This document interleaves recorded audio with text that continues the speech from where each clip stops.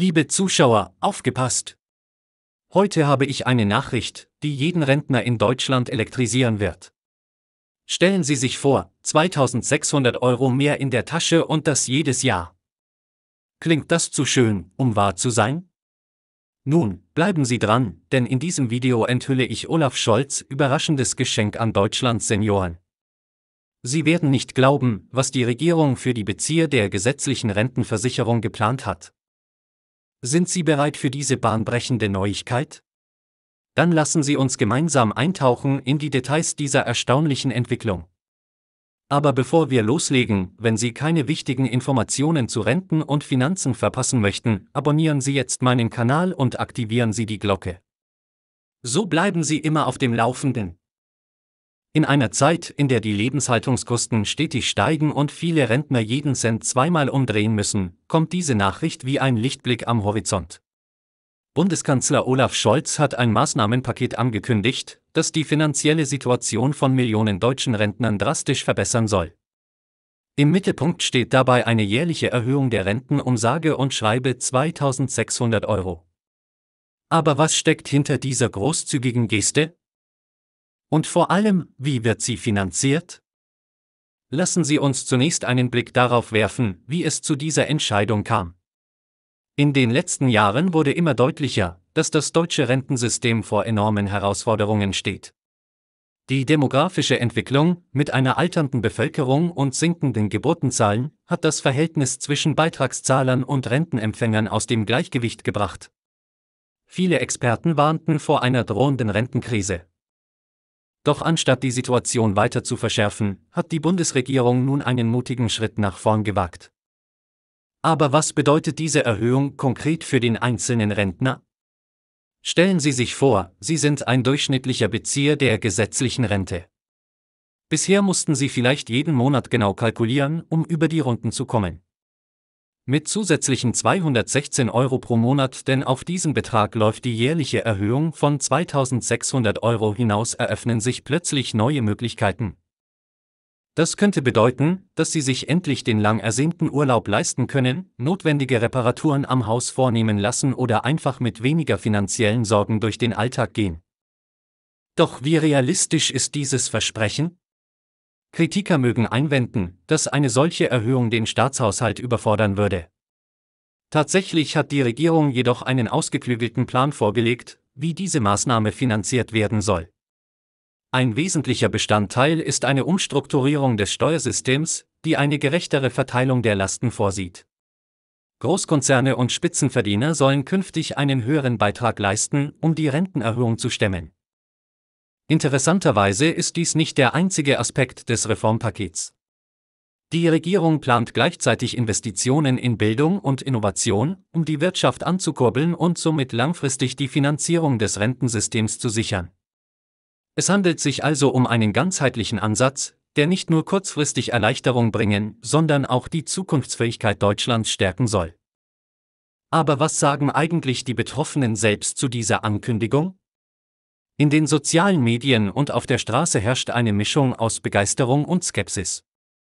Viele Rentner können ihr Glück kaum fassen und sehen endlich eine Anerkennung ihrer lebenslangen Arbeit.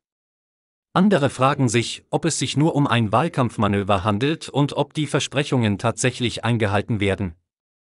Um diese Fragen zu beantworten, habe ich mit verschiedenen Experten gesprochen. Professor Dr. Maria Schmidt, renommierte Wirtschaftswissenschaftlerin an der Universität München, sieht in dem Vorhaben durchaus Potenzial, wenn die Finanzierung tatsächlich so umgesetzt wird, wie es die Regierung plant, könnte dies nicht nur den Rentnern helfen, sondern auch positive Auswirkungen auf die Binnennachfrage haben. Das wiederum könnte die Wirtschaft insgesamt stärken. Doch es gibt auch kritische Stimmen. Der Finanzexperte Thomas Müller warnt, wir müssen aufpassen, dass wir nicht die jüngere Generation überfordern. Eine solche Rentenerhöhung muss Hand in Hand gehen mit Maßnahmen zur Stärkung des Arbeitsmarktes und zur Förderung von Innovationen. Diese kontroversen Meinungen werfen natürlich weitere Fragen auf. Wie wird sich diese Maßnahme auf den Arbeitsmarkt auswirken? Werden jüngere Arbeitnehmer dadurch motiviert, mehr in die Rentenkasse einzuzahlen, oder fühlen sie sich überfordert? Und was bedeutet das für die zukünftige Entwicklung des Rentensystems insgesamt? Um diese Fragen zu beantworten, lohnt sich ein Blick ins Ausland. Andere europäische Länder wie Schweden oder die Niederlande haben in den vergangenen Jahren innovative Rentenmodelle eingeführt, die sowohl die Interessen der älteren als auch der jüngeren Generation berücksichtigen. Könnte Deutschland von diesen Erfahrungen profitieren? Ein weiterer interessanter Aspekt ist die Frage, wie sich diese Rentenerhöhung auf die Wirtschaft auswirken wird. Ökonomen sprechen von einem möglichen Silberboom. Die Idee dahinter, wenn Rentner mehr Geld zur Verfügung haben, geben sie auch mehr aus. Das könnte zu einer Belebung des Konsums führen, wovon wiederum lokale Geschäfte und Dienstleister profitieren würden. Einige Experten sehen darin sogar einen möglichen Konjunkturmotor für strukturschwache Regionen, in denen der Anteil älterer Menschen besonders hoch ist. Doch wie sieht es mit der praktischen Umsetzung aus? Laut dem Bundesministerium für Arbeit und Soziales soll die Erhöhung schrittweise über einen Zeitraum von drei Jahren eingeführt werden. Dies soll nicht nur die finanzielle Belastung für den Staatshaushalt verteilen, sondern auch mögliche inflationäre Effekte abmildern. Aber was bedeutet das für Sie als Rentner? Müssen Sie aktiv werden, um von der Erhöhung zu profitieren, oder erfolgt alles automatisch? Die gute Nachricht ist, Sie müssen nichts unternehmen. Die Rentenversicherung wird die Erhöhung automatisch berechnen und ihrem monatlichen Betrag hinzufügen. Allerdings empfehlen Experten, die eigene finanzielle Situation neu zu bewerten. Mit dem zusätzlichen Einkommen könnten sich beispielsweise neue Möglichkeiten für Investitionen oder Versicherungen ergeben. Ein weiterer Aspekt, der in der öffentlichen Diskussion oft übersehen wird, ist die psychologische Wirkung dieser Maßnahme. Viele Rentner fühlen sich in unserer schnelllebigen, digitalisierten Welt oft abgehängt oder nicht wertgeschätzt. Eine solch signifikante Rentenerhöhung könnte als Zeichen der Anerkennung verstanden werden und das Selbstwertgefühl vieler älterer Menschen stärken. Dies wiederum könnte zu einer aktiveren Teilnahme am gesellschaftlichen Leben führen, ein nicht zu unterschätzender Faktor für den sozialen Zusammenhalt. Aber was ist mit denjenigen, die kurz vor dem Renteneintritt stehen? Wie wirkt sich die Ankündigung auf Ihre Planung aus? Experten raten, trotz der positiven Nachrichten die eigene Altersvorsorge nicht zu vernachlässigen. Denn obwohl die angekündigte Erhöhung beeindruckend klingt, bleibt es wichtig, auf mehreren Säulen zu stehen, um im Alter finanziell abgesichert zu sein.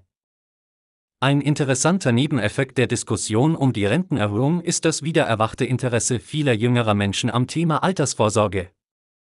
In den sozialen Medien teilen plötzlich auch Millennials und die Generation Z ihre Gedanken zur Rente. Könnte dies der Beginn eines generationenübergreifenden Dialogs über die Zukunft unseres Sozialsystems sein? Doch zurück zur konkreten Umsetzung, wie genau soll die Erhöhung finanziert werden? Neben der bereits erwähnten Umstrukturierung des Steuersystems plant die Regierung auch, stärker in zukunftsträchtige Technologien zu investieren. Die Idee dahinter, durch die Förderung von Innovationen in Bereichen wie künstliche Intelligenz, erneuerbare Energien und Biotechnologie soll die Wettbewerbsfähigkeit Deutschlands gestärkt werden. Die daraus resultierenden Wirtschaftsgewinne sollen dann teilweise in die Rentenfinanzierung fließen. Kritiker argumentieren jedoch, dass dies ein riskantes Unterfangen sei. Was, wenn die erhofften wirtschaftlichen Erfolge ausbleiben? Könnte dies zu einer noch größeren Belastung für zukünftige Generationen führen? Diese Bedenken nimmt die Regierung ernst und hat daher einen Notfallplan entwickelt, der Anpassungen vorsieht, falls die wirtschaftliche Entwicklung hinter den Erwartungen zurückbleibt. Ein weiterer Punkt, der in der Debatte oft übersehen wird, ist die Frage der Gerechtigkeit innerhalb der Rentnergruppe selbst. Nicht alle Rentner werden von der Erhöhung gleichermaßen profitieren. Diejenigen mit sehr niedrigen Renten werden prozentual am meisten von der Erhöhung profitieren, während sie für Bezieher höherer Renten verhältnismäßig weniger ins Gewicht fällt. Ist das fair? Oder sollte es eine gestaffelte Erhöhung geben? Diese Frage führt uns zu einem größeren gesellschaftlichen Thema, der Altersarmut. Obwohl die angekündigte Erhöhung für viele eine erhebliche Verbesserung darstellt, wird sie allein nicht ausreichen, um das Problem der Altersarmut vollständig zu lösen. Hier sind weiterhin zusätzliche Maßnahmen und ein ganzheitlicher Ansatz gefragt. Interessanterweise hat die Ankündigung der Rentenerhöhung auch zu einer Debatte über den Lebensstil im Alter geführt. Viele Menschen überdenken nun ihre Pläne für den Ruhestand. Einige sprechen davon, endlich lang gehegte Träume zu verwirklichen, sei es eine Weltreise oder das Erlernen eines neuen Hobbys. Andere planen, das zusätzliche Geld in ihre Gesundheit zu investieren oder es für ihre Enkel zurückzulegen. Diese Vielfalt an Reaktionen zeigt, wie individuell die Bedürfnisse und Wünsche im Alter sind. Doch was bedeutet die Rentenerhöhung für die Wirtschaft als Ganzes? Ökonomen diskutieren lebhaft über die möglichen Auswirkungen. Einige sehen darin einen willkommenen Konjunkturimpuls, besonders für den Dienstleistungssektor und den lokalen Einzelhandel. Andere warnen vor möglichen inflationären Tendenzen, wenn plötzlich mehr Geld im Umlauf ist. Die Wahrheit liegt wahrscheinlich irgendwo dazwischen, und es wird spannend sein zu beobachten, wie sich die Dynamik entwickelt. Ein Aspekt, der in der öffentlichen Diskussion bisher wenig Beachtung gefunden hat, ist die mögliche Auswirkung auf den Arbeitsmarkt für Senioren könnte die verbesserte finanzielle Situation dazu führen, dass mehr Rentner sich entscheiden, einer Teilzeitbeschäftigung nachzugehen, nicht aus finanzieller Not, sondern aus Freude an der Tätigkeit? Dies könnte interessante Perspektiven für den Arbeitsmarkt eröffnen und gleichzeitig dem oft beklagten Fachkräftemangel entgegenwirken. Abschließend lässt sich sagen, dass Olaf Scholz Überraschung für Senioren weit mehr ist als nur eine simple Rentenerhöhung. Es handelt sich um einen komplexen Eingriff in das soziale und wirtschaftliche Gefüge unseres Landes, dessen Auswirkungen wir in den kommenden Jahren genau beobachten müssen.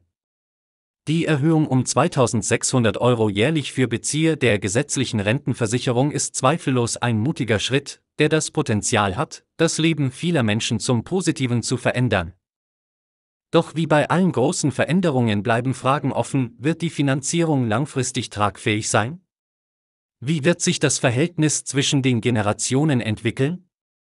Und wird diese Maßnahme tatsächlich zu mehr Gerechtigkeit und Wohlstand für alle führen? Eines ist sicher, die Diskussion um die Zukunft unseres Rentensystems ist mit dieser Ankündigung neu entfacht worden. Es liegt nun an uns allen jung und alt gemeinsam Lösungen zu finden, die eine faire und sichere Altersversorgung für alle Generationen gewährleisten. Was denken Sie über diese Entwicklung? Wie wird sie Ihr Leben oder das Ihrer Angehörigen beeinflussen? Teilen Sie Ihre Gedanken in den Kommentaren mit uns. Und wenn Sie keine wichtigen Updates zu diesem Thema verpassen möchten, abonnieren Sie meinen Kanal und aktivieren Sie die Glocke. Gemeinsam bleiben wir am Puls der Zeit und diskutieren die Themen, die unser aller Zukunft betreffen. Bis zum nächsten Mal bleiben Sie informiert und vor allem bleiben Sie neugierig.